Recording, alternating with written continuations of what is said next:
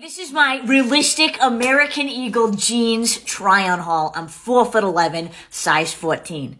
These are from online because I can never find 14 short in store. I'm really hoping some of these fit. Okay, this is the soft knit high-rise jegging. Hey, they fit perfect. Not sure if I like this stripe situation. It, it's a given zebra. they fit the waist really well, and I like that they're not too high, but they still cover the tummy. Fucking love these ones. These are the mom jean. They are so comfortable. Holy shit. I really like the color too. A ripped jean situation. These fit me fucking perfect and I really like the placement of the holes. okay, yeah, this one cannot, cannot get it up. Another one can't, it's not gonna work. These have no stretch. They feel so tight. Like it's not comfortable. 100% yes. Hey, I had some success here. I'm pretty happy.